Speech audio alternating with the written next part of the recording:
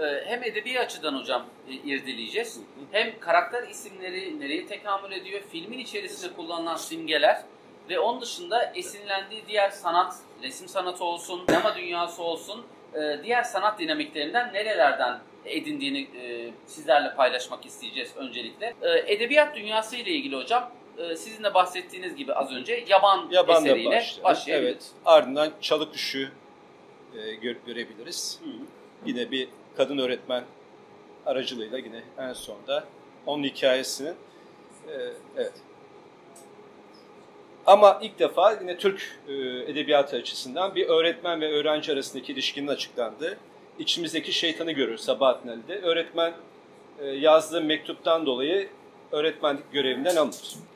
Buradaki e, Nuri Bilge Ceylan'ın bence e, Sabahattin Ali'nin yaptığı gibi açık biçimde görüntüsü vermiyor ama ima ediyor ama biz o ima ettiği şeylerden e, nasıl bir çıkarımda bulunuyoruz? Birazdan onları göstereceğiz. Yine çocukların eğitim anlayışı ve modernizm ilişkisi açısından e, Jean-Jacques Rousseau'nun özellikle aydınlanma bugünkü anlamda işte e, bir anlamda işte bizim de Kemalist devrimimizin temelindeki ve ardından da köy enstitülerinin kurulmasındaki her çocuğun kazanılacak bir birey olduğunu ve onun üzerinde e, nasıl bir eğitim sürecinden geçip çocuğun e, büyüklerle olan irtibatını ko- koparıp eğitim sistemi parçasını, felsefesini emilde olduğunu görüyoruz. E, yine genç bir çocukla bir yaşlı adam arasındaki ilişkinin anlatıldı ve finalde de e, kahramanın öldüğü Venedik'te ölümde yine bu hikaye görüyoruz. E, başka yine tek başına e, bir anda işte nihilist ya da işte kahramanımızın olduğu gibi her şeyden uzaklaşmış, bir anlamsız bir dünya içerisinde yaşayan Yevgeni Onelli'nin Pushkin e, kahramanını görüyoruz. Yine Lolita'yı hepimiz biliyorsunuzdur. E, Vladimir Nabokov yine Rus edebiyatından. E, yine sinemada da aynı şekilde uyarlamaları yapılmıştır. Bir genç kız ve yetişkin arasındaki aşk ilişkisi diyebiliriz. Buyurun. Evet, Marx, Stirner e, her ne kadar biz Nietzsche'nin e, üst insan dediğimiz ya da işte individualizm dediğimiz bireyselci felsefesinin Nietzsche'den alıntılandığını söyleriz ama buradaki e, sürü mantığının arkasında gidip var olmaktansa en önde olmayı tercih ederim, birey olmayı tercih ederim diyen felsefecimizi görüyorsunuz. Kitabın ismi Biricik, e, Biricik ve Mülkiyet. E, meraklı olan, felsefeye olan arkadaşlar için de tavsiye ettim. Bugün özellikle e, ikinci bölümde daha çok değineceğim. E, yine Almanya'da yaşayan e, Buyung Chul Han'ın e, yorgunluk toplumu karakterimiz üzerinden ve güzeli kurtarmak hem kız karakterimiz hem de Nuray karakteri üzerinden güzellik kavramını size e, felsefi anlamda irdelemesini yapacağım. Ki hocam Ee, bir yandan da evet. Samet karakteri, ana karakteri, ana ana karakterimize baktığımızda Nuri Evet. Bilge Ceylan'ın e, şahsen hani çoğu e, film eleştirmeni de yorumladığında Evet. Nuri Bilge Ceylan'ın en kötücül karakteri olarak nitelendirebiliriz belki de.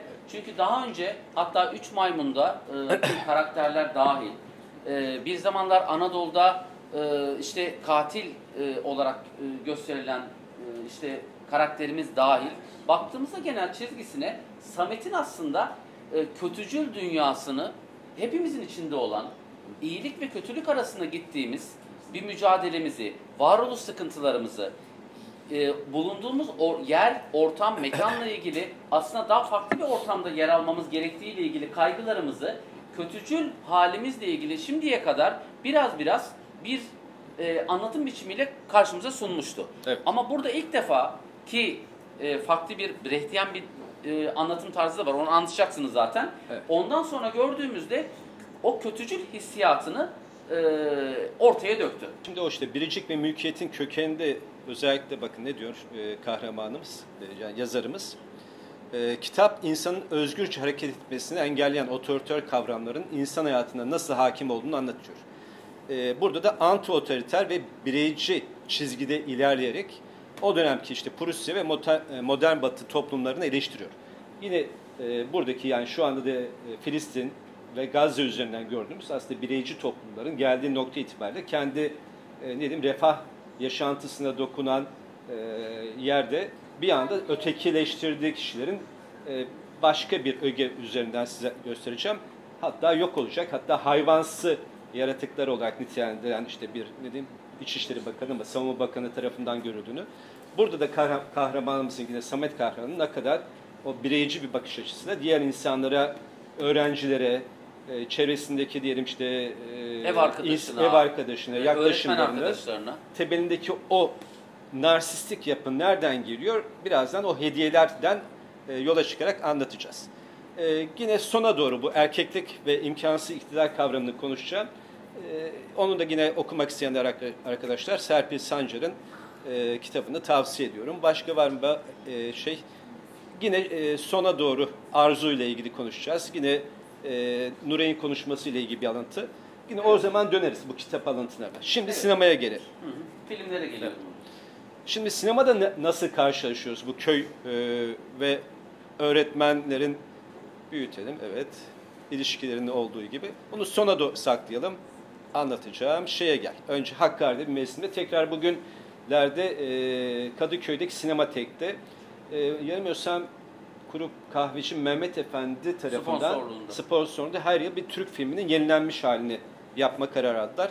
İlk Kahve tercihimizi e, netleştirmiş, netleştirmiş olduk. olduk. Hakkari'de bir mevsim e, Ferit Etkin'in O adlı e, eserinden e, Onat Kutlar tarafından senaryo haline gelmiştir. Genco Arkal ve Şerif Sezer oynadığı bir filmdir. Bizim ee, filmle ilişkisi nasıl hocam? Bizim sizce? filmle ilişkisi birazdan diğerlerinde de görüşeceğiz Tabii. ama özellikle bizim filmde olduğu gibi kahramanımız e, bir varoluşçu bir felsefeye sahip e, öğretmendir. Oraya gidip işte aydınlatmak amacıyla oradaki öğrencileri, çevreye e, bir tür beyaz zambaklar ülkesindeki öğretmenler ya da aydınlar gibi gitmiştir. Ancak bambaşka bir dünyaya, oranın sosyolojik gerçekliğiyle, işte ağalık, feodal yapısıyla, tefeci tüccar yapısıyla karşılaşır ve filmin sonunda aslında hiçbir şey değiştiremediğini ve kendisinde nasıl değiştiğini itiraf ederek e, bir öz eleştiride yaparak aydınlanır. Bunun da devamını filmi olarak da düşünürseniz Camdan Kalp diye bir filmden e, bahsedeceğim. Tek bir film çekmiştir kendisi Fehmi Yaşar. Yine e, Genci Aykal başrolde, yine Şerif Sezer var. Bu sefer de şehir hayatında yaşayan bir aydın tiplemesi üzerinden e, yine e, ne diyeyim işte getto ya da işte kenar mahallede yaşayan bir kadının hayatını kurtarmak için bir aydının başına gelen e, trajik bir e, aydın tiplemesi içeren bir filmdir. Evet, esas bugünkü filmde ve filmde de neden e, paylaştığıma dair gönül yarısını seyretmeniz herhalde yoktur. Şener Şen de bugünlerde buradaydı. Şimdi Şener Şen'in biliyorsunuz e, Urfa'da ya da Mardin yöresinde emekli olup çantasını alıp geldiğini görüyoruz İstanbul'a. Ve e, kızıyla karşılaştığı sahnede kızı ona diyor ki işte ben hasta oldum işte 39 derece ateşlerde sen baba bırakıp da bize gelip e, doktora bile götürmedin ve bunun sonucunda ben e, hastalandım artık çocuk sahibi bile olamıyorum diye babasıyla yüzleşir. Şimdi orada bize o görevi kim vermiştir Şener Şen'e git o çocukları aydınlat gerekirse çoluğunu aileni de bırak diye. O görevi veren kişiyi biz aslında filmin e, ortalarına doğru görüyoruz e, Samet'e kötücül biçimde bakıyor. Karanlık bir gecede e, ya da ışığı kapatmak üzere okula geldiği zaman ona kim bakıyor? Atatürk bakıyor. Çünkü biz öğretmenleri ya da Atatürk nasıl bir görevle, misyonla göndermişti? Eğitimde kaybedecek bir fert yoktu. Gelecek nesiller kim yaratacaktı? Öğretmen yaratacaktı. Oysa Samet ne yaptı buna? İhanet etti. O yüzden Atatürk orada bize ne yapıyor? E, kötücül biçimde ya da Samet'e baktırıyor. Peki daha önce biz buradaki bakışın ve şaşırmayı nerede görüyoruz? Yine Nuri Bilge Ceylan'ın Bir Zamanlar Anadolu'da filminde yine finalde de gördüğümüz Nemrut heykelini kime gösteriyordu? Hatırlıyor musunuz? Doktor, Doktor işemeye gittiği Doktor. sahnede şimşek çakıyor. Herkesi eleştiren, sorgulayan, burnundan kıl aldırmayan doktorumuz bir anda görünce ne oluyordu? En zaaflı halinde evet. yakalanıyor. Yakalanıyor ve bir anda irkiliyor ve kendine geliyor. Bir yandan da e, buradaki görevin bizim aydınımız ya da işte Samet'imiz tarafından nasıl onu yerine getirmediği eleştirisinin üzerine biz Atatürk'le ve buradaki Atatürkçü bir anlamda Kemalist bir öğretmenin nasıl görev bilinciyle ailesinden e, koptuğuna dair. Şimdi ayna ile ilintisini Tarkovski'nin üç nesneyle kuracağım. O aynadan bize yine bir filmden, aynaya gelmeden önce bir başka filme gelelim. Ee, Gizli Yüz. Burada mıydı? Heh. Gizli Yüz filmde Ömer Kavur filmin finalinde şöyle bir e, el arabasında bir eskiciyle karşılaştırıyordu. Bizim kahramanımız Fikret Kuşkan'ı rüyalarında gördüğü nesnelerden yola çıkarak ayna vardı, Saat. saat vardı ve yanılmıyorsam ütü vardı. Tarkovski'de ütüyü de görürüz, aynayı da görürüz, saati de görürüz. Vazoyu da görüyoruz. Vazoyu da görürüz, sütü de görürüz. Tabii çoğaltılabilir. Tabii. Özellikle ayna simgesi birazdan da göreceğiz. Postmodernizmin kullandığı baş temel e, figürlerden biridir. E, içinizde Borges okuyan var mıdır? Vardır. Eşim edebiyatçı olduğu için gayet doğaldır. evet. E, yine Kum kitabı ya da daha başka kitaplarında da geçer. Ayna ögesi aslında yeni bir edebiyat figürü ortaya çıkarmamızı ya da sinemada da öyküde de yeni bir şey yoktur aslında. Birazdan Nuri Bilge'de de aslında yeni bir şey anlatmıyor. Bildiğimiz bir şey anlatıyor ama hangi şeyi neye dönüştürmüş onu göreceğiz. Şimdi buradaki e, figürlerin bir hediyelik nesne olarak geldiğini görüyoruz. Ayna hediyesi geliyor, şarap hediyesi geliyor ve ze- zeytinyağı hediyesi geliyor. O zaman bu üç figür üzerinden kahramanlarımızın kimliklerinde neye karşılık geliyor? E, açılışta aynayı vereceğiz. Ardından e, zeytinyağı ve şarabı da ne anlama geldiğini sizinle paylaşacağım. Şimdi e, şeye gelelim tekrar ayna filmine gelelim.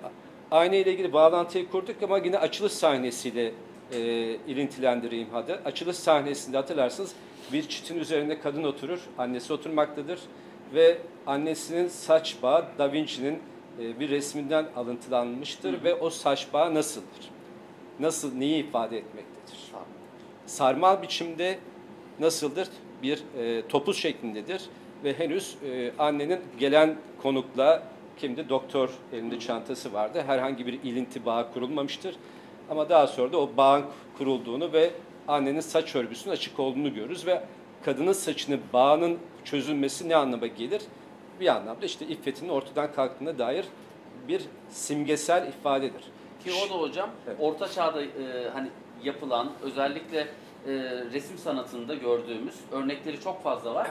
Hani o dönemin anlayışına göre iffetli kadınlar e, saçlarını hani e, resim sanatında e, bağlı bir şekilde çiziliyor. Ama iffetinden yoksun kadınlar saçları açık bir şekilde e, çiziliyor. Ve burada da e, tam doktor geldiğinde Zerkalo filminde e, büyük bir neşeli bir sohbet geçtikten sonra hatırlarsınız çit kırılıyor. Bu çit de filminde kadının aslında e, evi, korunaklı evi kadının özel yuvası bir yandan da cinsel yuvası anlamında ve çit kırıldıktan sonra ki orada Tarkovski'yi simgeleyen küçük çocuk da oradan izlemekte gizlice ve orada da görüyoruz ki kadın e, iffetinden yoksunlaştı. Belki de askere giden babayı aldattı mı, aldatmadı Film mı? boyunca. Ee, ve film boyunca bunun vicdan azabıyla kadının e, yolculuğunu izliyoruz. Evet. Aynı film okuması da kanalımızda mevcut. Şimdi kasabada yine bir öğretmen hikayesi vardır hatırlarsanız. Yani e, zaten kendisi de diyor. Tekrarlarım gayet e, vardır diyor yani. Uzakta da aynı şekilde o bakışı göreceğiz. Birazdan o bakışların ne anlama geldiğini e, Roland Barthes'ın işte Kamera Lucide adlı eserinden e, alıntılayarak vereceğim. E, yine Ahlat Ağacı'nda hiç bu sahneyi gördünüz mü? Bu afiş yapılmış. Afiş yapıldı ama- poster yapılmış. Hiç görmedim. ama filmde hiçbir sahnede geçmiyor. Evet. Bu alternatif olarak kullanılmış Evet. ama sonra da yerleştirilmiş. Babasının yani geçmişteki fotoğraflarından, anılarından alıntıdır. Yani filmimizde bakın ya oradan e, karlar içerisinde bir köy okulu yok ama bakın oradaki kar içindeki öğretmen daha sonra nerede görürüz? Yine Samet'te de. Şimdi o Samet'in hikayesini birazdan da kimden geldiğini biliyoruz zaten. Karakterleri anlatırken görelim. Ha, şimdi Seyit Han'la ne alakası var? Seyit Han Yılmaz Güney'in ilk filmidir. Ceyhan'da kendi Ceyhan diyorum şey Karataşon'da Yenice'de çekmiştir. Altın Palmiye'yi almış iki yönetmeniz. Belki öyle Evet. bir bağlantım hocam. Hayır hiç alakası yok. Ee, bunu da nereye bağlayacağım? Ee, tabii fi- finale doğru e, Dansa Makabre'yi bağlayacağım ama ne alakası var Dansa Makabre ile ve pers şeyle Hocam personayla? her şeye dansa makabreyi buradan koyuyorsunuz. Şimdi filmin sonuna doğru bakın Seyit Hanım açılışı bir halay sahnesiyle başlar. Evet. Filmin Halay sonu- sahnesinde A ve onun arka şeyleri diyelim e, yardakçıları, e, adamları e, halay çekmektedirler. A Seyit Han'ın sevdiği kadınla evlenmek üzeredir, nişanlanacaktır ve e, bir süre sonra da Seyit Han'ın başına ve de işte sevdiği kadının başına gelenleri görürüz. Seyit Han da kendi yarını alan A ve o dans eden bütün adamları filmin sonuna doğru tek tek ne yapar? Öldürür. Yani öleceklerini filmin başında aslında biraz biraz simgesel vermiş Tabii, demek tabii. Bunu bize nereden veriyor? Orta çağdaki veba hastalığından ortaya çıkan dansa makabre kavramından anlatmıştık daha önceki dans edenler. Bunu e, 7. Peki Mühür filminde burada dans sahnesini görüyor muyuz? Filmde görmediniz mi? Halay çekiyorlar arkadaşlar. Peki halay çekmiyor ama film boyunca yani şey yapınca masada konuşuyor kıza diyor işte şunu yapacağım itiraf etmeye sorgulamaya diyor ama kız hiçbir şey cevap vermiyor. Ne diyor hocasına? Halaya gelecek misiniz hocam? Aslında bizim kızımız hocayı çoktan ne yapmış? kafasında. Öldürmüş arkadaşlar. Yani o lafı tek kelimeyi işte bu laftan dolayı söyletiyor Nuri Bilge Ceylan. Bize dans ederken, halay çekerken göstermesine gerek var mı Samet'in? Gerek yok. Sevin bizim için onu öldürdüğünü ne yapıyor? Vuruyor. Şimdi gelelim İsimler. isimlere. İsimlerin anlamları neden önemlidir? Sevmek zamanından Halil'den biliyoruz. Halil Allah'ın dostuydu. Film tamamen metafiziksel bir e, okunması gereken filmdir. Ki mesela birçok filmde olduğu Evet. gibi hocam. e, Daha önce de bahsettik. Bulova filminde Thomas karakteri var. Thomas adı Aziz Thomas'tan şüpheci, e, meraklı Thomas'tan geliyor. Hazreti İsa'nın Caravaggio tablosu. e, Hazreti İsa ölüp ölmediği ile ilgili böğrünü yarıp parmağını soktuğu bir tablo hatırlarsınız. Evet. E, aynı zamanda The Matrix filminde de birinci de biliyorsunuz diğerlerinde de öyle. Thomas Anderson'dır. Thomas e, Evet. şüpheci Thomas'tan Anderson da insan anlamına geliyor. Gibi gibi bu isimler aslında çok önemlidir. E, yönetmenler e, bu anlamda senaristler bunu bilerek yerleştirmeye çalışır. Bizim filmimizin de Samet karakteri. Samet'le ne alakası var hocam? Evet, Samet sonsuz, yüksek, ebedi, hiç kimseye muhtaç olmayan Tanrı adı demektir. Öyle geziyordu zaten. Evet, kahramanımız film boyunca nasıl bir karakter sergiledi? Yani yönetmen ve senarist ekibi ne yapmışlar? Adım adım isimlerin hepsini koymuşlar. Peki tersten okursanız Samet'in ne çıkar? Ee, filmin açılışında bize ne yapıyor? Temas. Kızın temasıyla başlıyor, sonra hocanın saçını temasıyla başlıyor. Ve ondan sonra bakalım... Nuray'a temasla devam ediyor. Nuray'a temasla devam ediyor. Ve, ve temas ediyor. İnsanlara dokunuyor film boyunca Samet. Ama o temas bakalım nereden bize başka bir yola getirecek. Hadi bakalım başka neler görüyoruz. Nuray. Evet, Nuray'ın da ışık saçan ay. Yani yine Öztürkçeden gelen ayın en çok ısın saçtığı, saçtığı dönem. Ve bu parıltısı sayesinde de zaten ödülü de aldı. Diğer Ki, isimlere e, hani Kenan karakterinin e, Nuray'ın davranış biçimiyle de hani gördüğümüz e, bir e, hani kendi e, çapında ya da davranış biçimiyle ona karşı bir e, sempati oluşturduğu bir durum. Yani Nuray'la ilk gördüğünde bile Nuray'ın ona söylediklerinden sonra da gitgide Kenan'da bir şeye dönüştü. Hatta Kenan'la Samet arasında bir yarışa doğru ilerledi. Diğer isimlere gelelim. Heh, Vahit. Vahit e, Tek Yüksel ve yalnız. Aksu'nun oynadığı karakterde. Evet, eski Yüksel Aksu- 68 kuşağının devrimcisi olarak da tanımlayabiliriz ya da 80 kuşağı olarak da. Orada çökmüş, artık devrimden uzaklaşmış, hatta köylülerden de e, şeyini kesmiş, insanlıktan nasibini almamışlar diyor. E, tek ya da yalnız. Yani bilinçli olarak ne yaptığını görüyorsunuz? Bütün isimleri tek tek koymuşlar. Bu anlamda da bugüne kadar hiçbir metinde görebildik mi analizlerde? Yok. Filmle ilgili öyküyü anlatıyor ama gördüklerinizi anlatıyorsunuz. Bir de görmedikleriniz nelermiş? İşte görüyorsunuz şu an. Vahit hangi karakter? Yüksek Aksoy'da veteriner vardı ya. Evet. Veteriner karakteriydi. Evet. Devam. Kenan ismi hocam. Diğer üçüncü karakter. Kenan'da vaat edilmiş topraklar, yani Tevrat'ta geçen bir isimdir. Yani vaat edilen kişi. Aslında bir anlamda Nuray'a vaat edilen kişi olarak da okuyabilirsiniz Ki bunu. Nuray'ın da vaat ettiği bazı Karşı. şeyleri hani iletişim kurarak. Devam edelim. Sevim karakteri. isminden de zaten açık ve sevmek eylemine geçen bir Küçük kimsede öğrenci, kız çocuğu. ya da bir şeyde bulunan o kimseyi ya da şeyi başkalarına sevdiren özellik olarak değerlendiriyoruz. Evet. Başka? Ee, Feyyaz. Feyyaz kimdi? Yüksel Aksu'nu konuştuk. Babası Münircan küçükken askerler tarafından götürülmüş olan e, ve işsiz geç- geçen ve orada da işte komutana karşı kimlikle ilgili tartışma yaşayan kişi. Ki Münircan Cindoruk da Adanalıdır. Abisi Caner Cindoruk, abisi Hmm. Taner e, Cindoruk. Babası da Zafer Doruk bilirsiniz. Evet. Türk Edebiyatı'nın önemli insanlarından. Evet. Ee, ki e, Münircan da minimal bir şekilde enfes oynamış orada. Evet, anlamı ise bereket ve bolluk veren bir anlamda işte geleceğin insanlarını temsil eden gelecek kuşağı ama o bereket ve toprağı aslında bir anda ne yapıyoruz? Biz şu anda olduğu gibi tırpanlıyoruz ya da sesini boğuyoruz ya da yurt dışına kaçırıyoruz. Feyyaz karakterlerine film sonra finale doğru göremiyoruz tabii. Şimdi heh, Hocam e, şey karakter. Ha. gel. Akın- Aksu'nun yaklaşık e, 10 yıl kadar önce bu köyde ya da işte bu köye mi yapıyor, bu doğudaki zorunlu hizmetinin başlangıcı bir yıllık çok fazla yapmamış. Sonra da istifa edip İstanbul'a öykü yazardı, roman yazardı ve Nuri Bilge Ceylan da hem senaryo hem oyunculukla devam ediyor. Biliyorsunuz bir önceki filmi Ahlat Ağacı'ndaki imam, sakallı imam vardı ya çeyrek altına almış vermeyen kişi. İşte o imam Akın Aksu'nun kendisidir. Ki temel hikaye de orada Akın Aksu'dan. Kendisi güzel sanatlar, Çanakkale'de okumuş, resim bölümü mezundur. Karakterimiz de resim mezunudur. Onun günlüklerinden alıntılanmış e. E, şu anda da e, yine sinema ve oyunculuk çalışmaları bilim kadar İstanbul'da devam ediyor. Evet.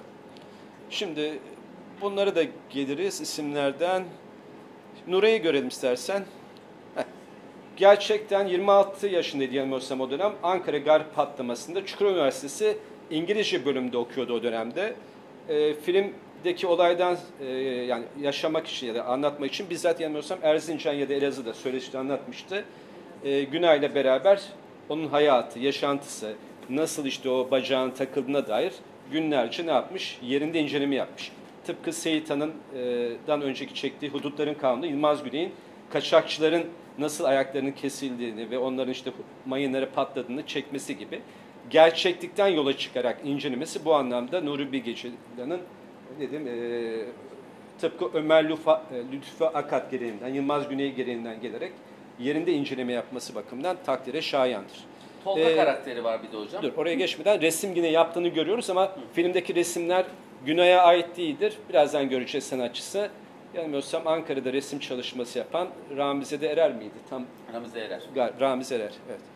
Başka yine Tolga karakterimiz var. nerede Ee, Tolga? Şu an burada değil ama fotoğraf olarak. Tolga da yine Öztürkçeden gelen işte savaşçı bir yok Beden şey eğitimi beden eğitimi öğretmeni. Şeyde de oynayan e, Karanlık Gece değil de neydi? Ee, Kurak Günler'de Kurak oynayan Günler'deki ortayı bulan, e, e, en iyi oyuncularından evet. hatta. Şimdi ne alakası var? Saklıköy'ü nerede göreceğiz? Şimdi bunları göstereyim sonra aklınıza gelir. Beden Saklıköy'ü eğitimi hocası. Tolga Beden ile ilgili bir şey. Ama önce hocam isterseniz gelmeyelim oraya. Tolga karakteriyle ilgili Tamam Tolga'yı geçtik zaten. e, Einstein'la bağlayacaksınız. Einstein'ın şey işte eve geliyor o söyleşiyi Saklıköy'ü de oradan bağlayacağım. Tamam, buyurun. Marcel Proust'u da oraya bağlayacağım ama anlatalım yani sonra Buyurun. bir daha buraya gelmeyelim Gene isterseniz. Şimdi gel Marcel Proust'a gel önce. Marcel Proust'un Kayıp Zamanın İzinde adlı çalışmasını okuyan var mı? Yaklaşık iki ciltlik ve 2000 sayfadan fazla yanılmıyorsam. 2000 sayfa. O civarda mıydı? Evet. Var mı okuyan? Yok benden başka. Peki. Maalesef e, e, kitabın Bir de Nuri Bilge okumuş hocam belli. Evet. Evet, kit- kitabın açılışı şöyle başlar.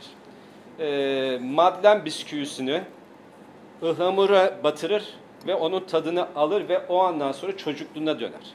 Ve o çocukluğundaki o tadı, kokuyu hissettikten sonra bu 2000 sayfalık kitabı yazar. Filmdeki kahramanımız bizim çaya batırdığımız bir bisküvi gibi düşünün. Biz olsaydı Ülker Petibör'ü batırdık ama filmde gören var mı? Batırdığı bisküvinin markasını. Saklıköy. Arkası ters dönüktü. Biraz da yırtıktı. Dikkatli bakanlar ön sırada dördüncüde oturuyorduk hatırlarsan Deniz. Ama işte görme eğitimi ya da örme eğitimi diyor başka bir e, yazarımız da diyor. Bu bisküvit olayını Evet. beden eğitimi hocasıyla Evet. Aslında bütün hepsi Aydın karakteri üzerinden tıpkı Ercan Kesal'ın e, yine bir zamanlar Anadolu'daki yaptığı gibi anılar üzerinden bir güzelliğe övgü ya da geçmişe övgü olarak da değerlendirebiliriz. Aslında bütün hikaye o bisküviyi çaya batırdığı anda bence Aydın'ın kafasında ya da Samet'in kafasında oluşmaya başladığı gibi geldi. Nuray Hadi bakalım. karakteriyle ilgili hocam Tamam. şöyle bir Ger- bak, gerçek Ankara'daki işte biliyorsunuz gar patlamasını 106 mıydı tam rakamı e, hatırlamıyorum ama iki tane ayrı bir patlamada, patlamada e, öldürülen öğretmen Aydın insanlarımızın hikayesini bize göstermeden başarılı bir şekilde anlattığını söylüyoruz. Bu anlamda işte az önce söylediğimiz tarihsel derinliği e, her ne kadar direkt olarak doğrudan politik bir film çekmese de Nuri Bilge Ceylan hem bize kayıp aileler üzerinden, kayıp çocuklar üzerinden, e, Feyyaz üzerinden bize anlatıyor. Hem burada e, Ankara gar patlaması anlatıyor. Birazdan bir şey anlatacağım. Bu da mı var diyeceksiniz. Evet, Roboski'yi biliyorsunuz. Bizim Cevher'in de oynadığı biliyorsunuz. insanları ya da işte e, katırcıları, at e, da kaçak tütün ya da e, kaçakçıların öldürüldüğü e, bir hikayedir. Onun hikayesini nereden bağlayacağız? Hadi bakalım. Tamam. Bu arada Cevher'in oynadığı Evet. derken hocam Cevher'in Ceylin filminde oynadığı. Evet, Ceyher'in Ceyhin'inde. Şimdi ben herkesi Ceylin'i seyretti diye Ama düşünüyorum. işte YouTube'da İzdiham yarattığım için. Ha, evet. Ee, Adana'da herhalde e, gelmedi. Şimdi mizantropi nedir arkadaşlar? Mizantropi az önce e, Tufan'ın da ilettiği gibi e, kelime kökeni olarak e, misos nefret eden ile antropozdan insan anlamlarına gelen iki latince kelimenin bileşiminden oluşmuştur. Yani insan sevmeyen ya da insandan nefret eden anlamına gelir. Kahramanımız da Samet'in böyle bir e, ne diyeyim işte bir kişilik yapısı içerisinde olduğunu görüyoruz ama şimdi o zaman nesnelerimize geliyoruz Yavaş galiba. yavaş insanlardan sevmeyen ama kendisi seven bir karakterimiz o zaman kendisi aslında ne hediye eder bakalım. Evet. Simgelere girmeden resim sanatı mı yoksa? Ee, yok simgelere giriyoruz. Simgelere Direkt oradan aynayla başlayalım. Tamam. Heh, aynaya gel. Aynadan önce hocam hemen şöyle Dur. başlıyoruz. bu Yok arada. ona gelme Ee, öyle sıralamıştık. şey.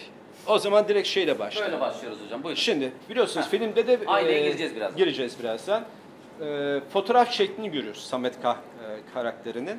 E, Nuri Bilge Ceylan'ın da bundan bir 15 10 yıl önce yanılmıyorsam Sinemaskop Türkiye adlı e, yaklaşık 100 fotoğraftan e, oluşan bir kataloğu ve 5-10 yılda da bir böyle sergiler açtığını Ee, biliyoruz. İstanbul Modern'de e, vardı zaten. Halen olabilir. Evet. Oradaki çalışmalarda yaklaşık 1 metre 2 metre yanılmıyorsam Tabii. boyutlarda. Sinemaskop. Özel baskı, şu an tekniği bilmiyorum. Sen belki gördüysen Aynen. biliyorsundur. Onu çekerken de e, Leica gibi böyle kalite bir hem geniş açı olması gerekiyor hem de kalite bir e, fotoğraf makinesi çekmesi gerekiyor. O eserlerin toplandığı bir e, albüm. E, bu albümün e, fotoğraflarının biz aslında film içerisinde görüyoruz. Bugüne kadar hiç bunu yaptığını gördük mü? Hayır. İşte bunun e, daha sonra biz e, sahneden çıktı. Samet'in o çıktığı sahne hani biletçi etki, etki diyoruz ama aslında o çekiliş sahnesi de bir anlamda yabancılaştırma olarak aslında bir dijital e, telefonda çekilecek bir görüntüler değil. Birincisi bu. İkincisi ise gelelim Ebru Ceylan'la beraber nereden alıyorlar yine? Klasikleri pek vermedik ama e, gördüğünüz gibi orada işte Dostoyevski'nin özellikle zaten kahramanımızın bizzat değil mi, farklı fotoğraflarında Evet. e, Samet'i biz orada da görüyoruz. Ki bu arada Ebru Ceylan'ın e, kalemi, senaryodaki e, hani yaklaşımı, biçimi baktığımızda ki o da çok iyi bir fotoğrafçıdır. Sergileri e, devam ediyor her yerde. E, ki filmdeki fotoğraflar Ebru Ceylan'a ait bu arada. E, Ebru Ceylan'ın kalemini gördüğümüzde Nuri Bilge Ceylan'ın sinemasında e, biraz kadın karakterlerinin aslında altının daha da doldurulduğunu, daha da bir anlam ifade ettiğini, bir şeye aslında e, katalizör olduğunu da görmeye başlıyoruz. Ebru Ceylan'ın vasıtasıyla diye düşünüyorum. Evet, bu anlamda da zaten genel anlamda söylenir. Her başarılı erkeğin arkasında. Gelenekçi bir tabir ama öyle söylenir doğru. Haydi bakalım. Evet. Gelelim o zaman e, Marcel Proust ne demiş bakalım. Az önce de yine bahsettik. Gerçek keşif yeni değerler bulmak değil, yeni gözlerle bakmaktır. O zaman felsefecinin de Iona Kuchuradi hocamıza gelelim yan tarafındaki. Felsefe eğitimi eğitilene nereye bakacağını gösteren bir eğitimdir. Baktığı yerde ne göreceğini söyleyen eğitim değildir. İşte o yüzden film okuması yapıyoruz. Yani bunları tabii bize Ankara'da senin öğrencilerin ya da dediği gibi bunları nasıl öğreneceğiz? Tabii ki bol bol film seyredeceğiz, kitap okuyacağız, şiir okuyacağız, müzeleri gezeceğiz. Ee, bununla ilgili ne yapmamız lazım? Kendimizi geliştirerek Ki bu ancak. kitap okuma sadece e, klasikler, edebiyat değil hocam. Ki sizden de hani edindiğim e, yönergelerle e, teoloji, psikoloji, Tabii. felsefe, e, insanlık tarihi bunların hepsiyle bir harman bir şekilde e, baktığımızda Antonioni sineması, Tarkovski sineması, Bergman sineması, e, Nuri Bilge sinemasına baktığımızda onun alt derinliklerini öyle öyle keşfediyoruz. Ama bu arada hani biz bunları keşfederken ya da sizlerle paylaşırken, sizler keşfederken illa hani bunları bir yönetmen insanlar, izleyenler bunları keşfetsin diye de çekmiyor muhtemelen. Bir seyirlik bir eser ortaya koyuyor. Duyguyu geçirmeye çalışıyor öncelikle. Herkesin bu herkesin Burhan Hoca olmak zorunda değil. Estağfurullah. Yani burada tabii Mehmet, pardon Serdar Öztürk hocamız var. Yine sine filozofi Tabii. e, üzerine YouTube'da kanalı ve kitapları da vardır. E, bizimki yaptığımız biraz, ben gösterge bilimsel ağırlıklı yapıyorum ama e, Serdar Öztürk hocam daha felsefi, özellikle Deleuze ve Guattari üzerine e, çalışmalarını yapar. E, onu da e, film okumalarını tavsiye ederim özellikle sizlere arkadaşlar. Şimdi ayna ile başlayalım mı o zaman? Bakalım bu ayna Türk ve yine Osmanlı ya da Selçuklu'dan başlayarak sevdiğini ayna etmek nereden geliyormuş? Hadi görelim. Mevlana'nın yazdığı bir şiirden. Kime yazıyor bu şiiri? Hepimiz biliyorsunuzdur. Edebiyatçılar hemen oradan söylerler zaten. Malum. Ama biz söylemeyelim. Evet. Bilemezsin. Sana verecek bir armağanı ne çok aradığımı. Hiçbir şey içime sinmedi. Altın madenine altın sunmanın ne anlamı var? Ya da okyanusa su. Düşündüğüm her şey doğuya baharat götürmek gibiydi. Kalbimi ve ruhumu vermenin bir yararı yok. Çünkü sen zaten bunlara sahipsin. O yüzden sana bir ayna getirdim diyor Mevlana. Kahramanımız filmin açılış sahnesinde e, dolayısıyla aslında bütün e, ne diyeyim doğuda ve Türk filmlerinde, Yeşilçam filmlerinde, köy filmlerinde gördüğümüz zaman bir aynanın hediye edilmesi ne anlama gelirdi? Hepimiz biliyoruz tabii ki sevdiğini ifade etmektir. Ama sevdiğini ifade eden bu aynanın da ne anlama geldiğini hadi bakalım Lacan'a geliyoruz o zaman. Lacan'daki e, arzu ve ayna kavramlarının hangi aşamalardan geçerek geldiği ile ilgili bir başka şey vardı, şema vardı. İleride. Heh, şunu büyütebilir miyiz evet. Tufancığım? Evet. evet. Tam ekran yapabilirsen. Evet. Daha önce e, Paris, Texas filmin analizine gelenler var mıydı? Bir arkadaşımız var ama YouTube'dan yine seyredebilirsiniz. Filmin finaline doğru e, kahramanımızın e, eşinin, terk ettiği eşinin daha doğrusu e, pin-up denilen bir herhalde şey, eğlence sektörü var. Aynanın arkasından siz e, karşınızdaki istediğiniz e, rollerde kadınları görüyorsunuz ve kadınlar size işte telefonda konuşarak bir anlamda işte sizin arzu ve isteklerinizi yerine getiriyorlar. Oradaki ayna üzerinden bize e, arzunun nasıl gerçekleşemeyeceğini ya da olamayacağına dair e, ilişki evreni veriyor. Şimdi aynanın çocukluktan ergenliğe geçiş ya da anneden kopuşla ilgili evrenimizin e, ilk simgesinden biridir. Hakikatle ilgili gelin. Dur. Şu biraz küçült. Heh. Aynayı gö göster. Heh.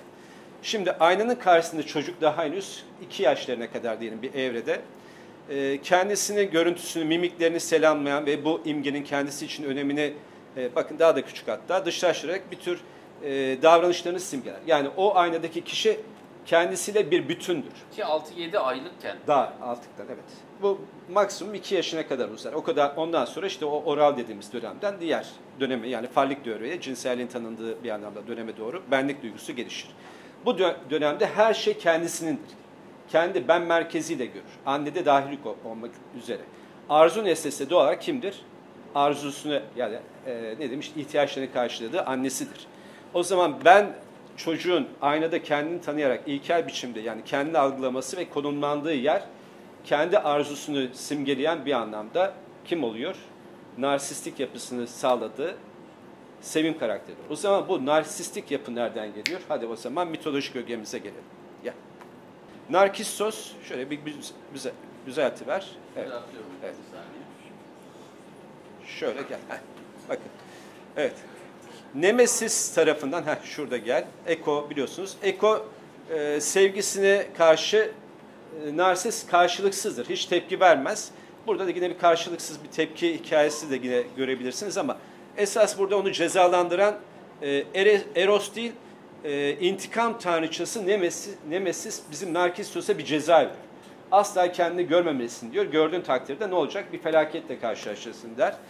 Ve ne, e, bizim Narkissos'umuz işte kırda, bağda da, e, dolaşırken bir türlü arzuladığı şeye ulaşamaz. Ama o arzuladığı şey bir gün nehrin kıyısına ya da işte gölün kıyısına gelir ve arzuladığı şeyi görür. Yani kendisini görür. Nerede görür? İşte ayna gibi düşünebilirsin. Suda görür ve ona ne yapar? Aşık olur ve o aşkının sonucunda da e, gölene atlar ve bunun sonunda da o kendi ben merkezciliğinin sonu o kişiyi ne yapar? Ölüme götürür. Burada da kahramanımızın nasıl işte e, aynı Yok tavus kuşu o farklı. O başkaydı. Başka.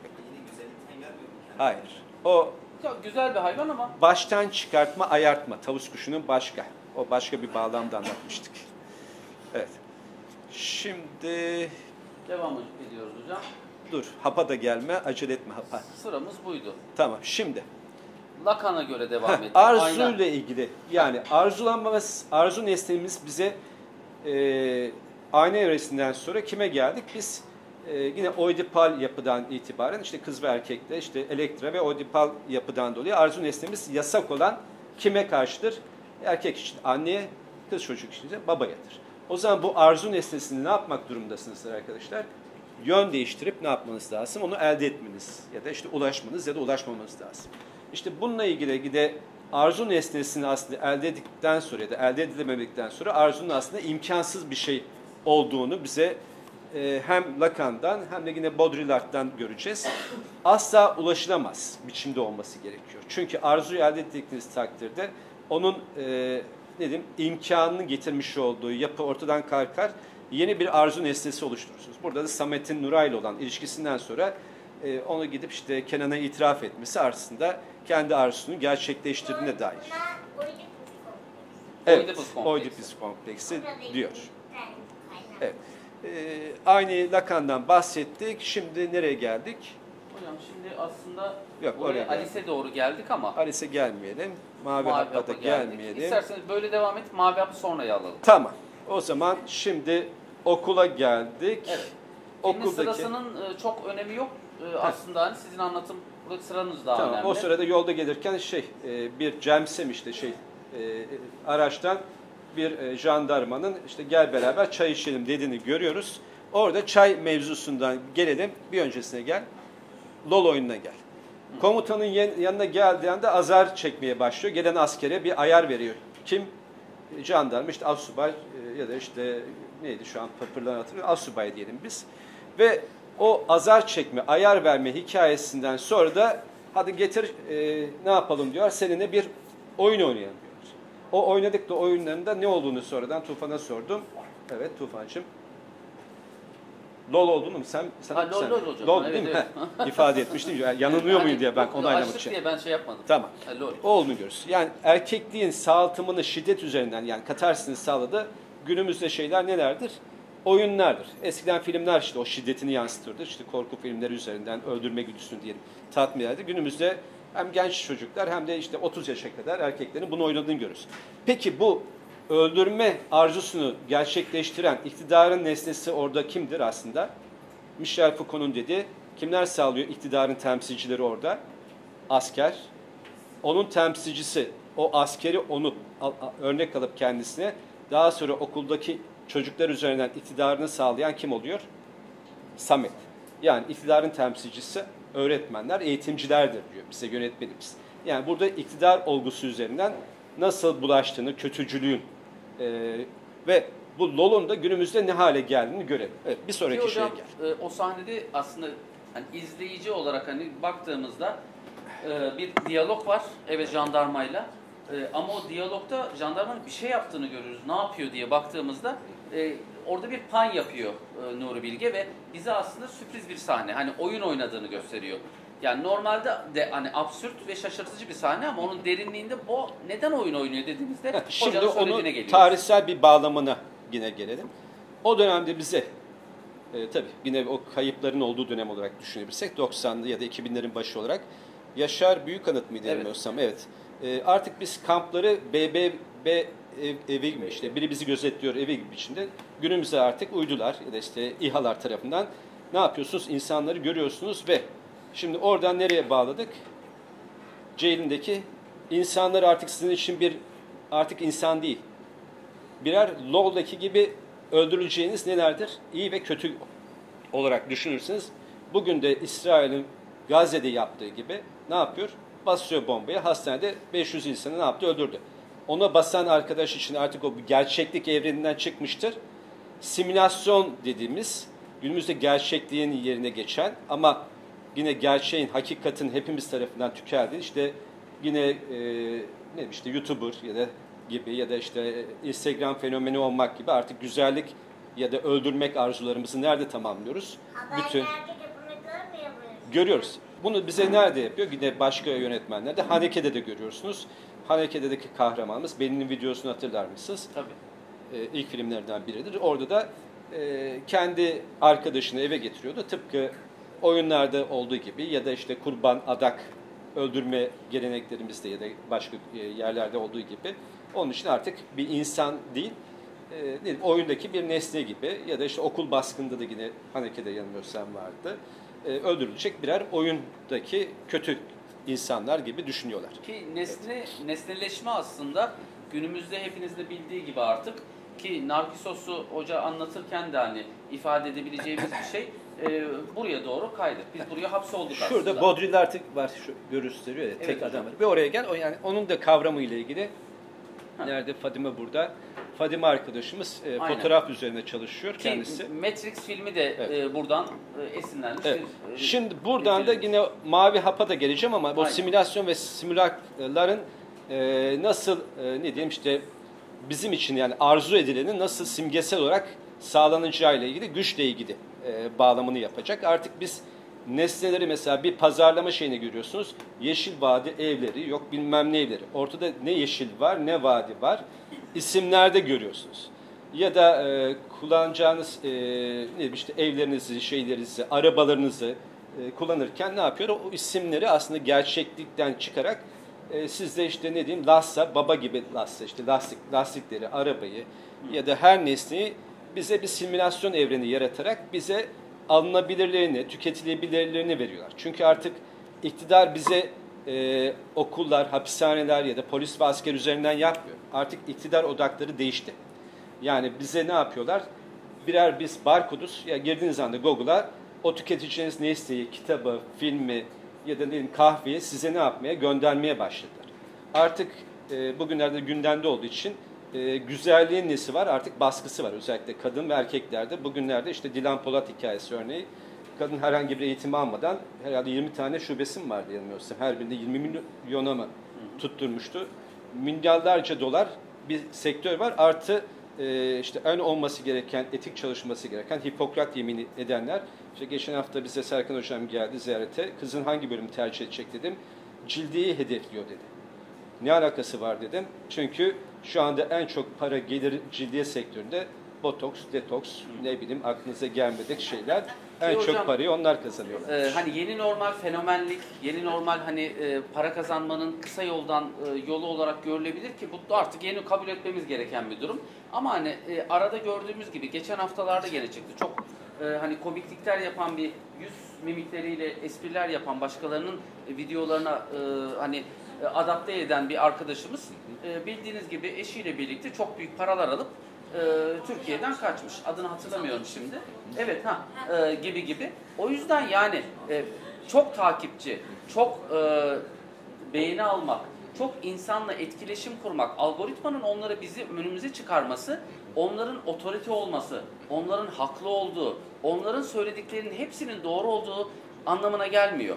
E, o yüzden hani e, belli bir kültüre sahip insanların bunları bir şekilde irdeleyip ona göre e, hani yargı, ona göre ifade etmesi gerekiyor. Mesela hocam e, Ezilenler kitabında Dostoyevski'nin dediği gibi e, bir aslan üzerinde tüm gün aslanı in- izlerseniz ve aslanın gün boyu aç bir şekilde, sefil bir şekilde, e, zavallı bir şekilde akşamı etmesini ve onunla birlikte acısını paylaşıp ondan sonra aslanın bir ceylanı avlayarak yedikten sonraki mutluluğuyla mutlu olabilirsiniz.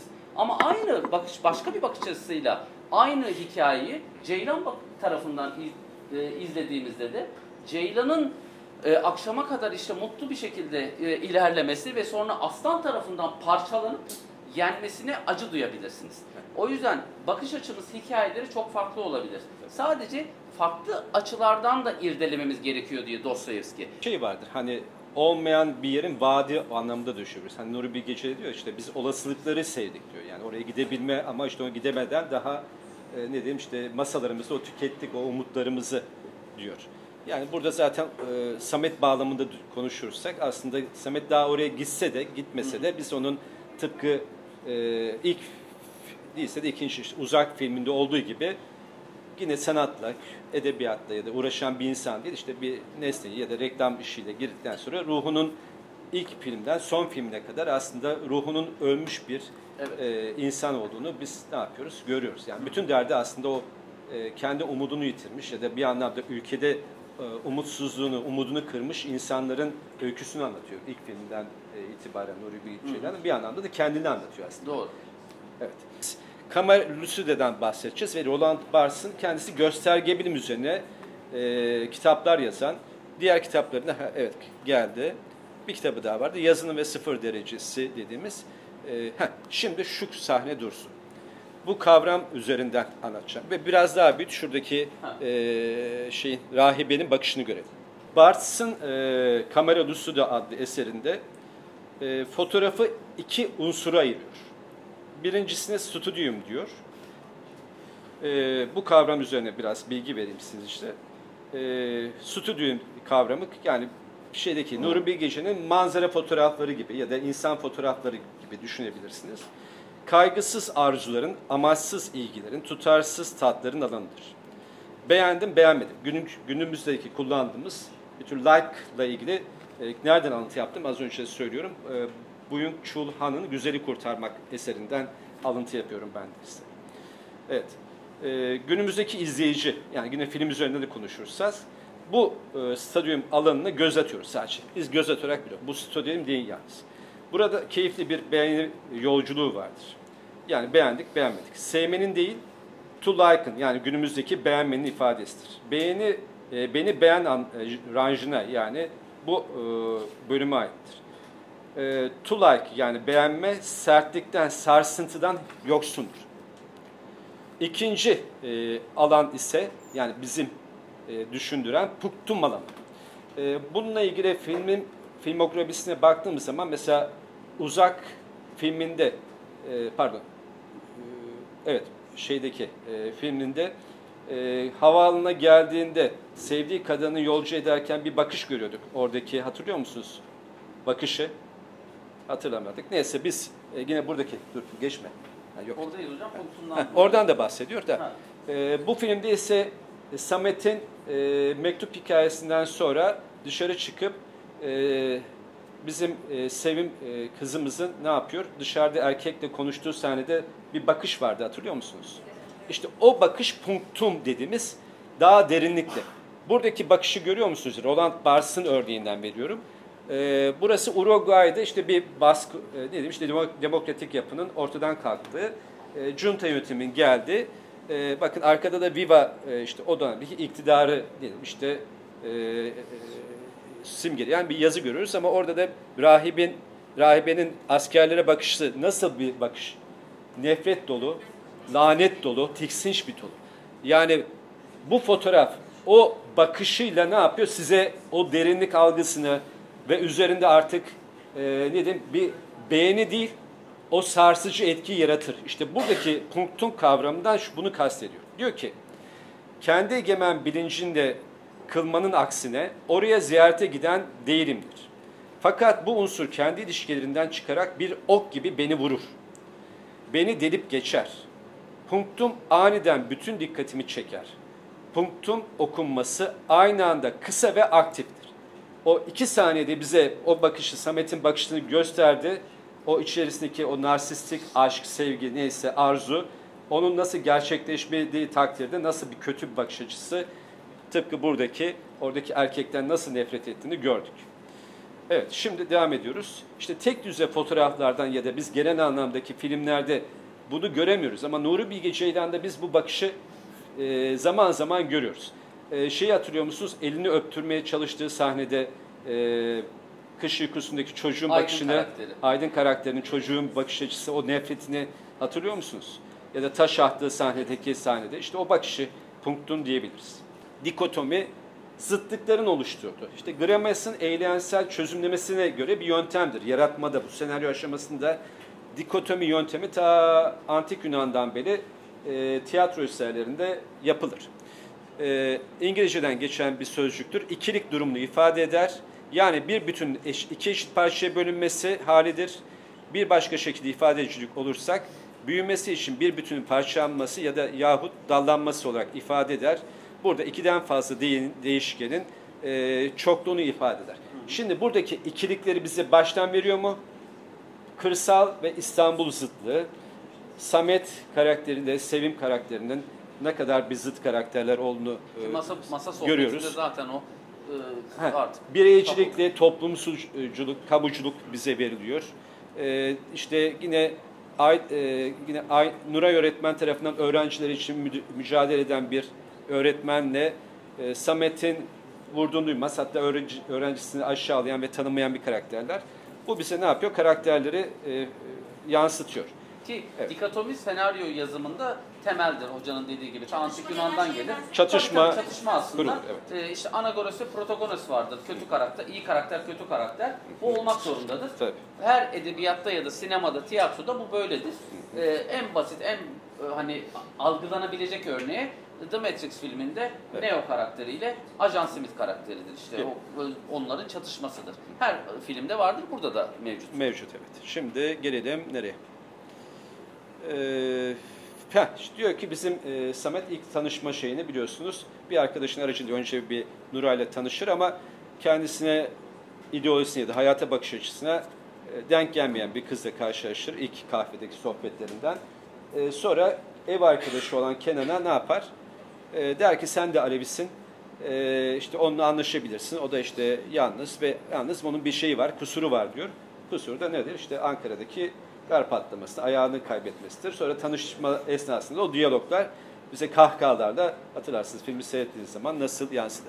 Şimdi e, oraya gelmeden e, Rıza Ulum e, sinemada Alevi'nin temsiliyle ilgili sosyolojik ve yansımasıyla araştırma yapan bir sinema yazarıdır. Kitapları da vardır. Buradaki temsiliyetle ilgili filmden sonra bir konuştuk. Şimdi e, filmin sonuna doğru Samet'le e, Nuray'ın beraberliği üzerine ve arka planda da işte hem resim sanatıyla hem de işte Hazreti Ali'nin gözükmesiyle ilgili bir e, ne diyelim işte eleştiri getirebilir miyiz? Neden? Çünkü e, Nuray'ın ideolojik anlamda o noktaya e, gelecek bir karakterde yapısı olmaması lazım. İşte oradaki bir baştan çıkartma, baştan çıkarılma ile ilgili ön veriler olmadığına dair ve o e, ne diyelim işte bir ön yargı ile ilgili bir yere gönderme yapabilir mi dedim. Hadi o zaman gelelim. 90'lı yıllarda e, sunuculuk kariyerini bitiren bir sunucu vardı. Güner Ümit. Güner Ümit. Ne demişti arkadaşlar? Alevilerle ilgili.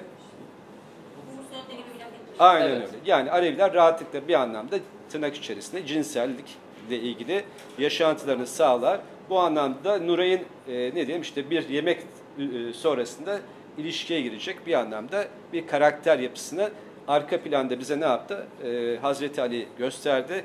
Yapmış olduğu resim çalışmalarından da zaten onun sanatının devam ettiğine dair ilgileri de gördük. Yani burada bir e, kolaycılık mı sağladı kendisi açısından bilemiyorum tabii ki ama e, eleştiri getirebildim. Tek nokta diyebilirim kendi e, bakış açımla. Evet. Hocam Epoke var. Epoke kahramanımız ve aslında Nuri Bilge Ceylan'ın da yaptığı e, yargıdan kaçınma deriz biz felsefede buna. E, şüphecilikte her türlü yargıdan kaçınma anlamına gelir. Edmund Husserl'in kullandığı anlamda epoke her türlü yargıdan kaçınma anlamı taşımaz. Epoke nesneye yönelirken anlayışımızı çarpıtarak e, olan ön kabullerden kaçınmamızı, doğal tavırlardan çıkmamızı sağlar. Bakın bize ön kabuller veriyor ki işte onların birbirleriyle ilgili değil işte ilişkilerini ya da işte evliliklerinin olacağına dair yargısal bir kaçınma vermesi gerekir. Oysa bize e, yönetmenimiz e, yargı vermiyorum ya da işte ben herhangi bir şeyde bulunmuyorum. Hatta e, müdürün dediği gibi ben hiçbir sendikadan değilim. Ama öyle mi? Hayır. Sonuçta bir sosyolojik açıdan ya da psikolojik açıdan baktığımız zaman bir hem eril bir ön yargı var hem de sosyolojik ya da dinsel ya da mezhepsel bir ön yargı olduğuna dair söyleyebilirim ben kendi adıma. Hocam devamında daha sonrasını geleceğimiz için ben şuradan direkt Nereye gel? Hapa geliyorum Hapa ve gel. Brechtian bakış açısına Evet. sizden duymak istiyoruz. Çünkü Acaba? filmin içerisinde Evet. daha önce Nuri Bilge Ceylan sinemasında görmediğimiz yenilikçi bir tavırla karşılaştık. Kendisi de tabii Evet. söyleşisinde bunu bahsetti Evet. ki sosyal medyada da video çekildiği için bunu anlattı. Ancak e, neden Samet karakteri filmin içerisinde masalsı bir şekilde hikayeyi irdelerken birden kapıyı açtı, tuvalete girecekken sete girdi, sonra sette dolanıp neden tekrar girdi? Güzel. Aynayla karşılaştı ve hap içti. Ne oluyor hocam? Yine öncesinde de Nuray da aynaya baktı hatırlarsanız. Evet. Kendisi de Ardından kendisi de dışarıdan gidip aynaya baktı. Yine Narkissos özelliğiyle ilinti kuracağız ama yine ayna ögesine geldiğimiz zaman aslında bu hapla ilgili de gelir. Mavi hapın hikayesi nereden geliyor? Nereden geliyor bu mavi hapın da hikayesi? Matrix'te de vardır. Ee, bir mavi hapın günümüzde ne anlama geldiğini oraya gelmeden heh, e, heh, günümüzde bakın. Günümüzde artık bir e, fenomen haline gelmiştir. En ufak tartışma bile insanlar mavi hapla yani e, bu terimleri günümüzde yakıştırırız birbirimize karşı artık çünkü çoğumuz artık mavi hapı zihnimizde e, utangaç birinin, kiminin yalnız birinin mavi haplı olduğunu düşünürüz. Kendisindeki mavi hap gündelik sıradan dünyayı ifade eder. Metris'te de yine e, soruyordu Neo'ya. Kırmızı mı E, mavi? Kırmızı mı mavi? Ama o kırmızı mı mavi hapın hikayesine hadi gelelim nereye?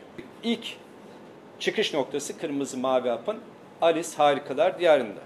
Şimdi ne alakası var filmimizde diyeceksiniz. Hadi bakalım Alice Harikalar Diyarında yazan kişi kimdir? Var mı bilen? Lewis Carroll. Lewis Carroll. Şimdi o zaman Lewis Carroll kimdir diye sorsam bilen var mı? Yok. Hadi o zaman bir Lewis Carroll'un hayatına bakalım mı arkadaşlar? Gel bakalım. Siz bahsetmeye Bahsedin. ben geliyorum. Lewis Carroll bir matematikçidir, öğretmendir, Ee, aynı zamanda çocuk kitapları yazan bir kişidir ama aynı zamanda Nuri Bilge Ceylan gibi tesadüfe bakın bir fotoğrafçıdır. Peki ne fotoğrafları çeker kendisi? Hadi bakalım hangi fotoğrafları Birçok filmde de Alice Harikalar Diyarı'nın hikayesi kullanılır Evet. ama bu şekilde Gel. e, çok örneğini görmedik açıkçası.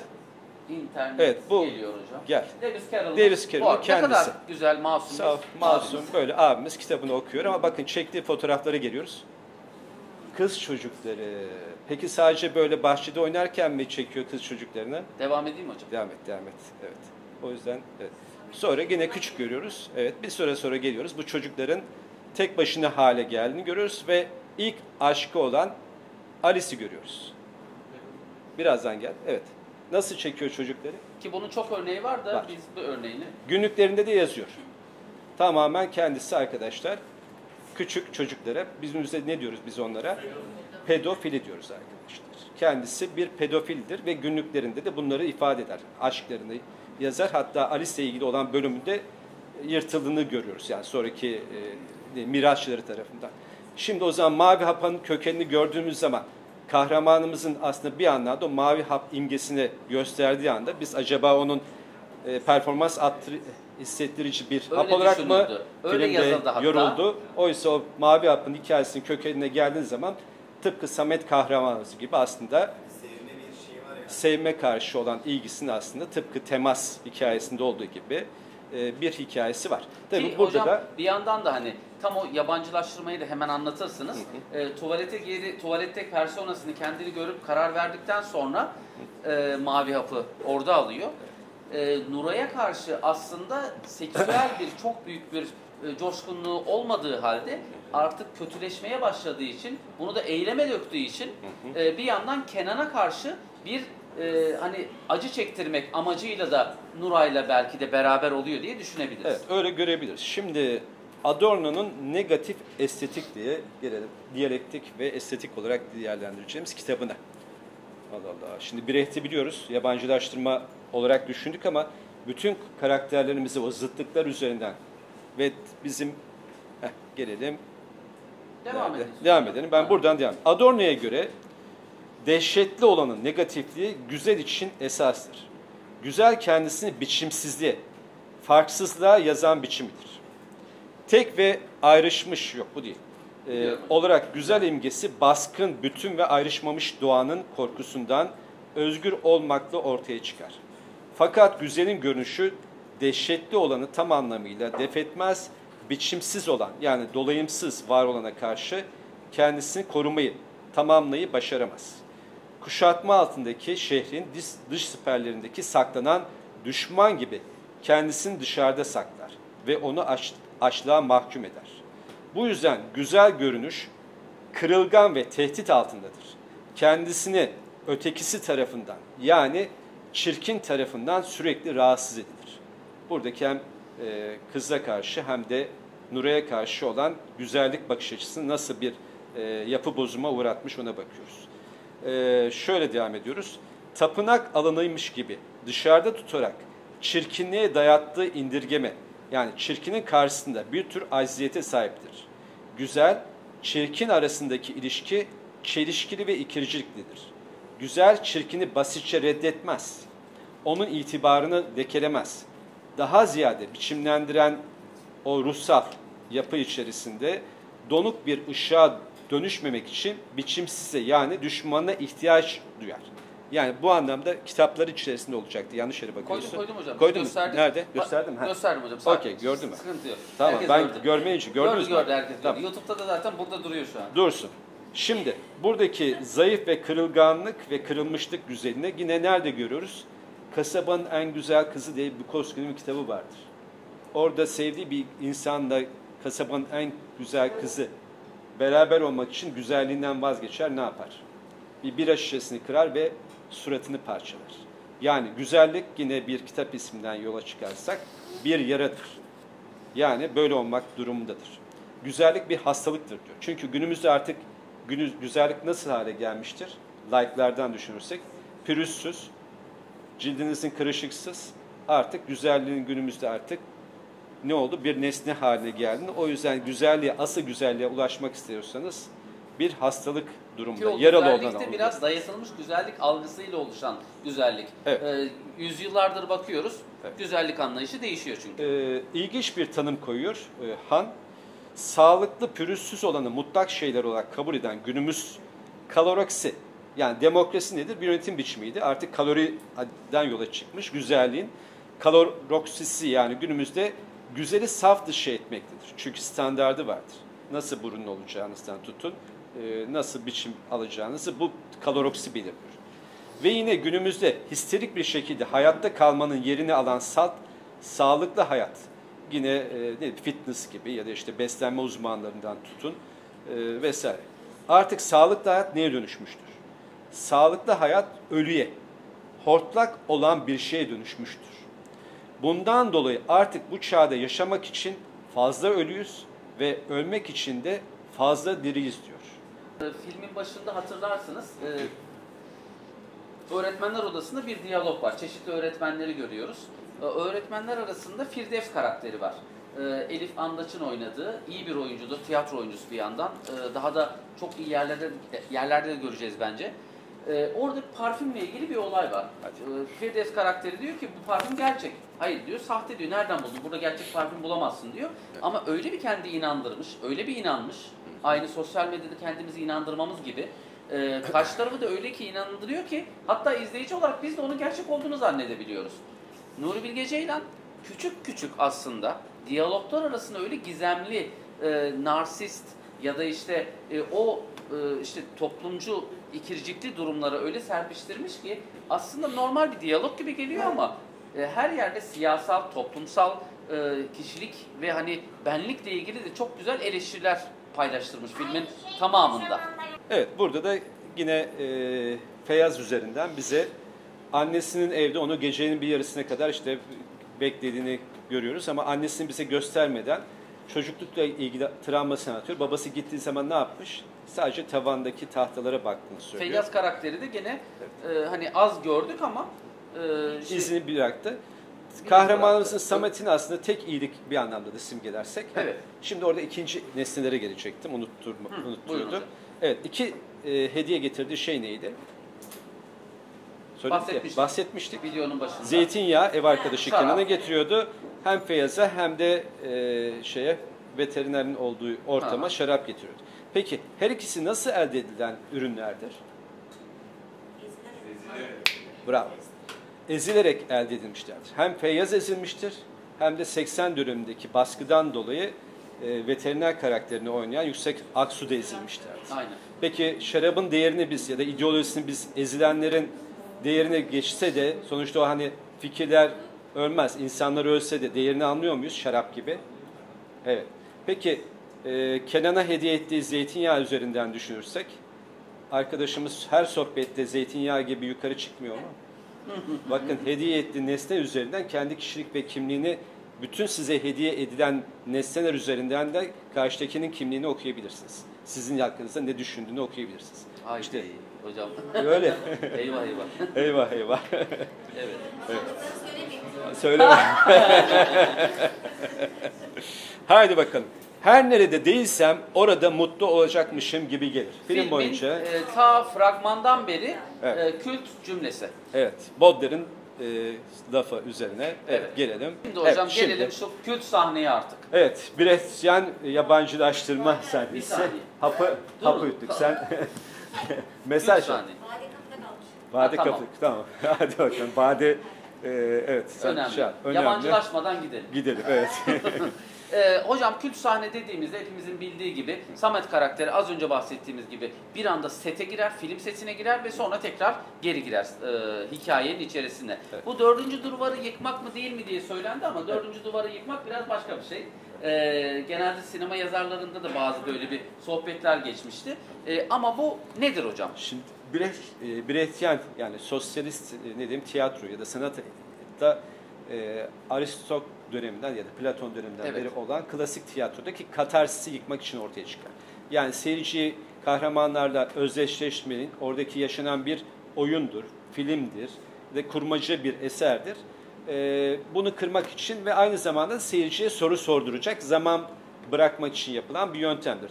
Tiyatroda zaman zaman seyircilerin içerisinden birileri soru sorar ya da gider e, atraksiyon yaparlar. Bunu Brett oyunlarında böyle yapmıştır. Bir de e, yine Tepenin Ardı filmini izleyenler vardır belki. E, yoktur. İzlediniz. Yani orada da yine Emine Alper yapıyordu. E, orada da aslında ortada düşman yok ama düşman varmış gibi ne yapıyor? Simgesel bir dünya oluşturmuş.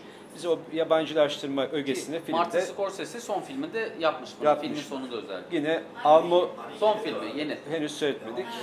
Evet. Vizyona yakında girecek. Gelir. Biz galasına gitme şansımız olmuş. Bir de Almodovar'da gördük. Almodovar'ın hangi filminde de kötü eğitimde de yine Aynen. görmüştük. E, yabancılaştırma ögesidir ama buradaki e, hem şey yabancılaştırma ögesini yapıyor. Aynı anda biz orada hapı düşmeye başladığımız anda da aslında yine kırıyor. Biz yine Samet'e sanki arzu nesnesini elde etmeye çalışan bir erkek bakış açısıyla o mavi hapı ne yapıyoruz? Güçlendirici mi diye ne yapıyoruz? Kendi kendimizi yorumluyoruz. Aslında o yorumu bile bilinçli olarak ne yapıyor? Yönetmenimiz yapıyor. Vermiş yani oluyor. iki defa yıkmış oluyor. Ki Nuri Bilge Ceylan da kendisi de ifade etti. Yenilikçi bir e, şey denemek istemiş, bir biçim denemek istemiş kendi filminde de.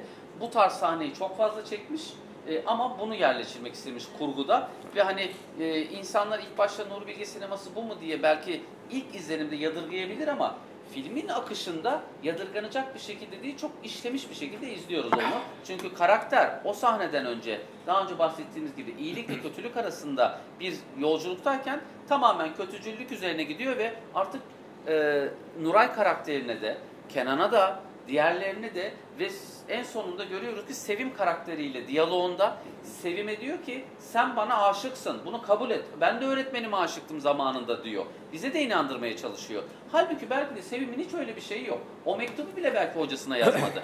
Sevim sadece biraz böyle e, neşeli bir karakter belki de. Tabii öyle ama e, yine işte hani saçlardan başlıyor diyoruz. Normalde e, taşımalı gelen bir kız çocuğu Sevim'i düşünürsek normalde doğmuşta otobüse gelen bir çocuk ne yapması lazım? Ya da köy çocuğu da olsa saçını ne yapması lazım? Toplaması ya da belik yapması Evet. lazım.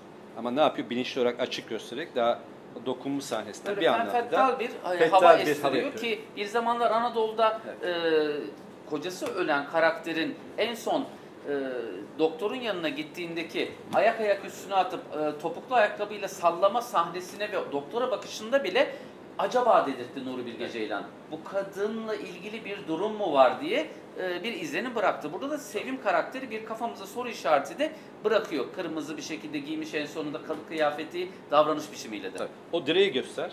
Sevim'le ilgili. Yine afiş kullanılmamış herhalde ama fotoğrafa gelelim. Evet.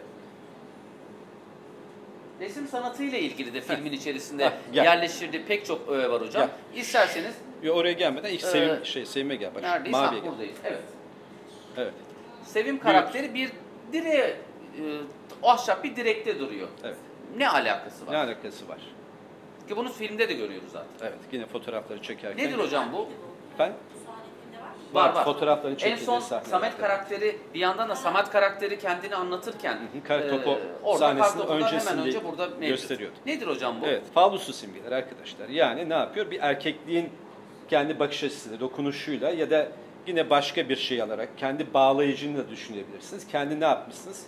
O simgesel anlamda e, kendi evreninize onu bağlayıp hapsetmişsiniz de, de düşünebilirsiniz. Yani kendi eril yapısının içerisinde bilinçli olarak ne yapmış yönetmenimiz? E, bu fotoğrafı çekmiş diyebiliriz. Çünkü bunu Freudian açıdan diyoruz.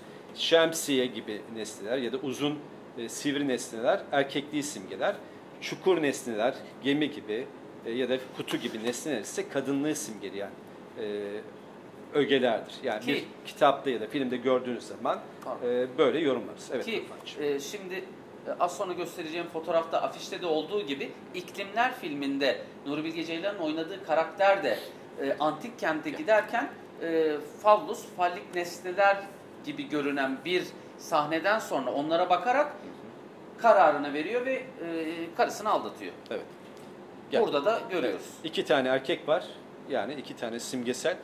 Bu e, antik dönemden sonra özellikle e, ne diyeyim Orta Çağ'da Tanrı'nın egemenliğini, iktidarını simgeleyen bir sütun olarak düşünülür sanat tarihindeki yeri. İki erkek ve bir kadının ne diyeyim işte o üçgenin tabiri da caizse fallosu arzunun. simgeliyor. Tabii Değil mi ki. hocam? Yani simgesel Ki bunu evren. e, afiş olarak da kullandı yani. E, Birkaç afişi daha var. Birkaç afişinden biri de e, Ee, şuraya geleyim hemen hocam. Gel. Şu hemen alttakine pardon. Heh. Ya. Heh, şimdi bunun orijinal resmine gelelim. Önce bunu Evet. gösterdik. Bunu Biliyorsunuz gösterdik. Samet karakteri ve afiş ki böyle bir sahne de var. Yok. Tarkovski havasının Değil. yanı sıra kes. Güzel. Evet, aynen. Şimdi o zaman e, romantizm resimdeki akımın çıkış nedenini bilmemiz lazım. aynen. Evet. Büyüt, görelim. Hocam. Şimdi biliyorsunuz skolastik dönemden yani aydınlanma ile beraber kilise resimleri ya da Hazreti İsa'nın resimleri artık ortadan kalkıyor. Portre ressamlığına geçiyoruz ama oradan sonra yine o, o hayattan da çıkıp artık insanlar Kant'ın deyimiyle ergin olmaya başlıyor. Ergin olmak ne demektir? Kendini kullan ve kendi vicdanın üzerinden üst bir e, tanrısal akla sahip olmadan kendi kararını kendin karar ver. Bu resmin ismi nedir oradan bakalım tekrar. Bulutların üstünde Bulutların yolculuk. üstüne yolculuk. E, kendi üzerine bir tür tefekkür yapıyor kahramanımız. Ama beden dili olarak dinçliği ve ya da hiçte bir amaçsızlığa, boşluğa oturan bir duruşu da sergilediği ifade edilmektedir. Almanca ismini geçiyoruz. Evet. Resimdeki adam kaybolmuş olabilir birinci anlama göre. İkinci anlama göre ise önceden belirlediği bir yere gitmekte olabilir. Bakın hedefini kahramanımızın ne yaptı? Koyduk. Filmin sonuna doğru belirlediği yer neresiydi? Onun işte Büyükşehir ya da İstanbul gidişatını görüyoruz. Kendisi yine tek niçeci anlamda üst insan, hani koyunların peşinde gitmeyen, kendi kararlarını verebilen, kendi otodetermizm dediğimiz iyinin ve kötüsünün ötesinde e, kendi iyisinin kararını verebilen e, bir kahraman olarak afişte görüyoruz. Ki başka bir afişte ve sahne olarak da gene resim sanatından esinlenerek e, Almış olduğu resimler. Yine e, çocukların olduğu bahçedeki e, sahnede de yine Peter Bruegel'in e, Bruegel'in Bruegel. e, avcı ve çocukların olduğu av sahnesi vardır. Orada da yine aşağıda çocuklar karda oynarlar. Tarkovski'nin e, Zerkallı filminde de olduğu gibi. Kullandığı gibi kullanmıştır. Evet. E, ne Onun kaldı dışında buradan? hocam Tamam. Sisyphos. Sisyphos'a gelelim. Evet, neden Şimdi. e, sahnede o sütunların arasından Dur, Sisyphos'tan önce gelelim. Daha şey var. Nesnelerden kitap var bir gördüğüm. var hocam Sırayla geleceğiz ona geleceğiz. Ama önce Sisyphos'u bir tam o sahne siz- e, şey değil çünkü Fallus nesnedeyiz. Yok, gelme. Yürüyor böyle. O en son finalde konuşacağız. E, Finale koymamışız ama tamam oldu. Yok. Finalde konuşalım. Yok yine geleceğim ama şey Ha. güven kitabını görelim. O en sona demiştiniz. Buyurun hocam. Yok yok en son değil. Evet. Şimdi güven kitabını gördüğümüz yer neresi? Kenan'la Samet'in evdeki hani diyor ki şey söyleme diyor Nuray ama orada itiraf bir anlamda ya da e, ne yapıyor işte o intikamını kendi kendi üstünlüğünü sağlamak için arka planda Kenan'ın rafının üzerinde ne görüyoruz? Vedat Türkiye'nin Güven, Güven adlı eserini görüyoruz. Burada da işte Türk e, siyasetinin ya da TKP'nin yanılmıyorsam hikayesini anlatır.